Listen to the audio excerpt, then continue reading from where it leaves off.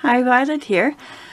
I bought this sewing machine fabric panel at a sewing store a few years ago and I finally made it into a wall quilt. And um, I did some machine stitching on it and some hand stitching. But this stitch here is uh, one of the ones on my sewing machine. It almost looks like a hand stitch. And then I stitched around different places. I sewed some buttons on where the flowers were. Around the little bird. And it's uh, right above my sewing machine table. So I put it onto the ceiling, the slope ceiling in front of my sewing machines. And I also reused or repurposed um, vintage wooden sewing box to hold all my different threads. I took the legs off it and I made legs to hold up the end parts. The legs are made out of wood spools on a, on a dowel so to give them support. And a lot of these are embroidery threads.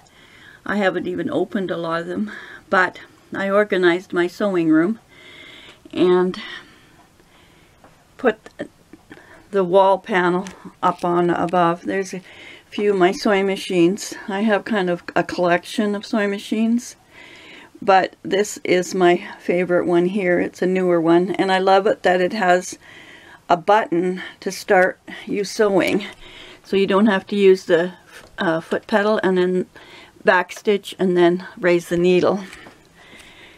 I also have uh, two sergers. Um, and lots of materials and things all. I'm still organizing, but on the other side I have my knitting machine and several other knitting machines. And there's my dress, uh, what do you call that? you know, you can see. And then here, the sun is shining in, but I've got a tower. Oh, there's some little vintage toy sewing machines and a Singer uh, uh, tin plate. But my, uh, my threads, my regular older threads are all down in this series of plastic bins and there's zippers and all kinds of things there. And over here by my window, I have my one of my favorite older machines. It's a Kenmore. And what I'm working on now is I'm doing these rope baskets.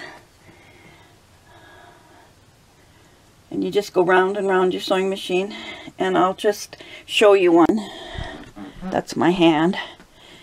This is one that's uh, finished. Although I have found a way to make a handle or and I'm going to put a handle or something I might on this one although it can be fine just plain. But to really need it I got a really good deal on this clothesline rope. And it's kind of fun. I'm going to uh, make a few for presents and I'm also working on the bag that's going to hold the fabric book I showed last time. So that'll be my next video. So thanks for watching. Take care. Uh, and um, have a good day. I'm It's spring here.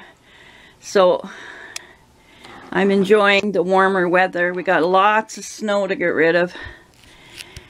But that's my sewing area and that's a chair that I redid. I got this chair at the thrift store and I recovered it. And then I also made a matching little ironing board cover with the same fabric. And I also made a ham. And this is not the kind of ham you eat. so that it all matches for pressing things. So that's my little sewing area. It's nice up here. I like to, it's very peaceful. I used a blue binding around there. I put it on Facebook and asked people to pick which fabric to go around the edge. And people picked the, the blue spool fabric. So thanks very much for watching. Bye for now.